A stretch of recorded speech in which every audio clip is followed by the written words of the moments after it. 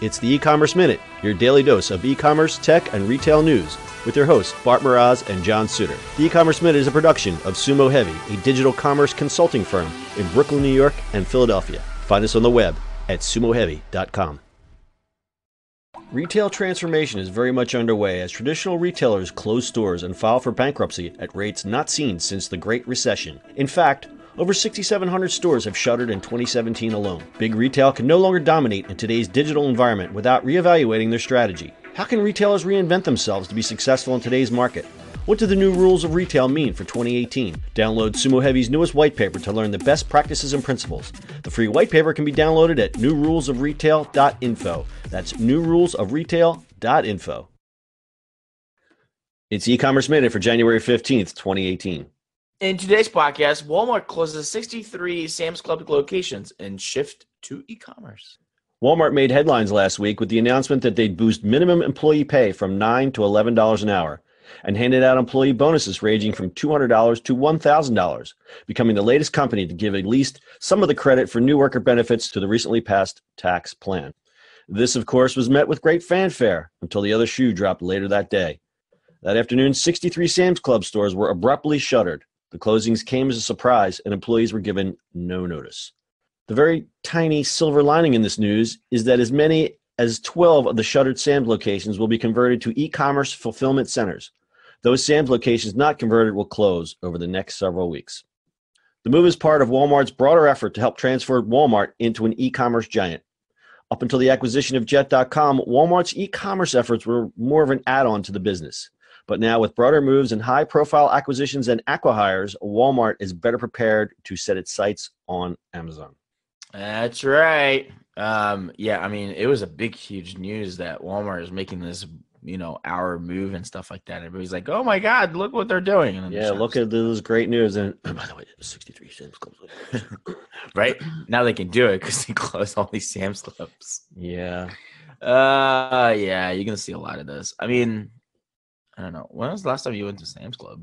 Uh, I go there. I have one right up the street from me. It's I get the rotisserie chicken. So my Sam's Club routine is I go in for the five dollar chicken, and then a hundred dollars later, I have a shirt that I didn't need and, and uh, seventy pounds of laundry detergent. You know, that's how it is. About, I, I, like the Costco's.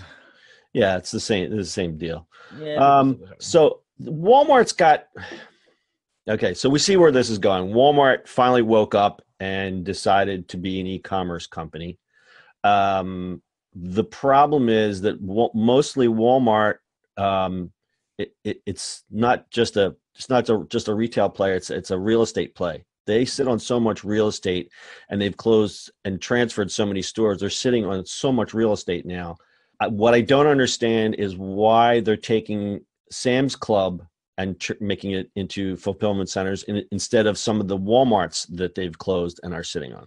So, I mean, look at it where my parents are. They closed the Walmart right next to them, but mm-hmm. down the street is the ginormous Walmart. That's really what's happening. It's we have the same thing. Uh, we have a want- giant Walmart that used to be a car for.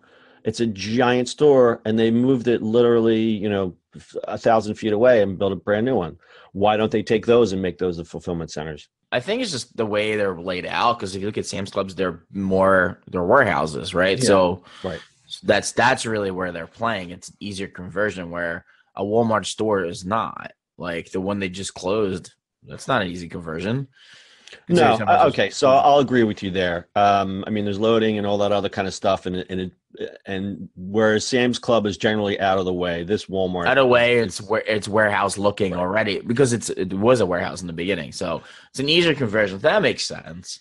Um, I think people are buying less too, so it's it, it's pointless to build these big huge things too. So, I mean, it's it's a good move for them. Um, that's kind of cool that they're just that they're using some of them to do fulfillment centers. Um, I think that's going to happen. I mean, warehouse spaces, I think it's going to outweigh any retail space. No, I, I completely agree with you. Um, it's, I don't know. I, this is kind of shocking though that they were, they closed 63 stores just like that. Yeah. And as of what today is the 15th, I just read they're also laying off uh, a thousand people, mostly in the Bentonville uh, headquarters.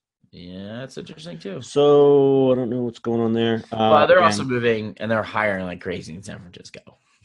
Right. So we see what's happening here is they're, they're trying to become an e-commerce company. Um, I just, uh, you know, their base, their base is the, uh, the people in the stores. So It's a little hard to believe, right? Like it's not discriminating. Like for us, it's just it's Walmart, right? It's, it's known for it. It is, and and Amazon's known, but they need, need to do it.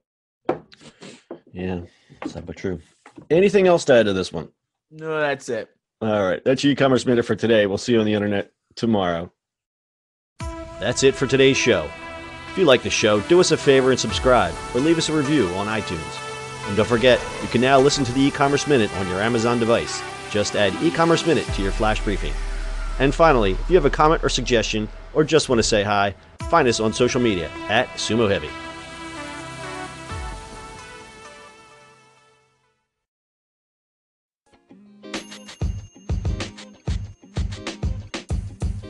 Podcast you just heard was recorded with Anchor. If you want to make your own, download the Android or iOS app completely free from anchor.fm slash podcast. That's anchor.fm slash podcast.